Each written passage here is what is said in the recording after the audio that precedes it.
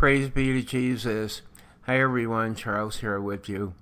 Well, I was looking at my Facebook feed, and uh, Dr. Bowring uh, posted something here um, about the removal of the um, bishop uh, from Memphis, Tennessee, Martin Holley.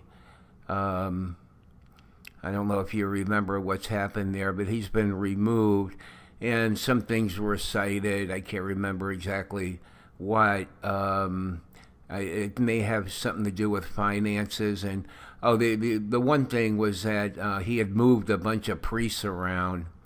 Um, uh, anyway, um, he was replaced, and um, you know, he began to speak out like, you know, I mean, like, you know, he was saying to the media, like, what's going on here? I don't understand what's, why I was removed.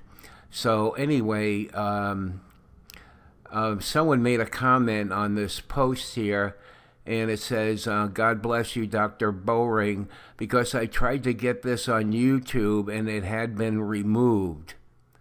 Now, that that is something there. If that's true, that might show us the hand of the Vatican, um, you know, working with uh, Google uh, to remove unwanted content.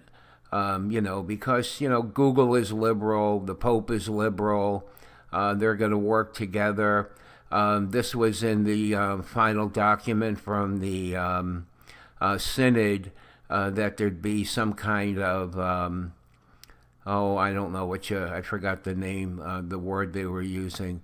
Um, there would be a um, a review of websites, and some of them would be approved, and um, it, it, didn't say others would would not um, would be disapproved or, you know. Um, you know, um, spoken badly about or anything like that.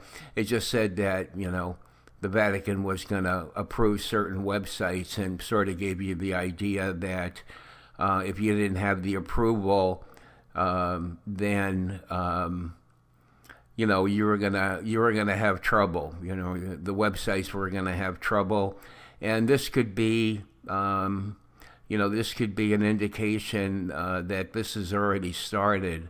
I mean, I really wouldn't be at all surprised. Anyway, um, so um, anyway, this person who made this comment couldn't find it, um, but actually it's on. Um, well, this is not YouTube, you know, I because um, it doesn't say YouTube. All right, so where this it's called The World Over with Raymond Arroyo, and it must come from their website, I would think, because it's um, it comes from something called Love EWTN. Um, I'm not real sure where this is actually posted, but you know, I mean, I know where it would say YouTube, and it doesn't say YouTube. So, um, uh, but anyway, this is the um, this is his um, explanation of what he understands uh, which he still doesn't understand a lot. He asked for an explanation, hasn't been given one. Uh, this may have something to do with Cardinal Wuerl. Um, anyway, um, the um, um, you know the content of the video is interesting if you care to watch it, and um, you know I mean I posted it for that reason, and also that it could very well be an example of um, you know the Vatican's hand in removing uncontent uh, content, uh, unwanted content uh, from the internet. Um, so I mean that's part of the reason why I changed the name of the channel to take the word Catholic out of it. Um, well, you know that, and the fact that I found out that in canon law you can't call yourself a Catholic organization or uh, it doesn't. I, I don't think it says website, but you know, generally speaking, you know, unless you have the approval of the bishop, which I couldn't even. I wouldn't even bother trying to get it from Cardinal Cupich.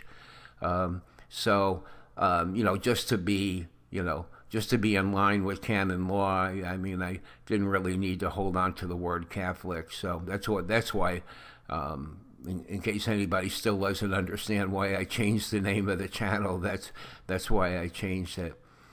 Uh, anyway, so for those couple of reasons, that's why I, uh, um, you know, th- that's why I'm posting this here.